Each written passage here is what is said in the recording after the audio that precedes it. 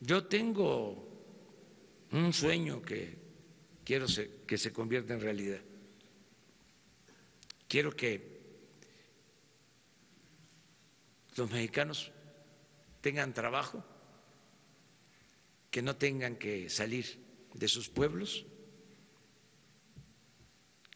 que tengan ingresos justos y que empiece a escasear la fuerza de trabajo y que ya nadie quiera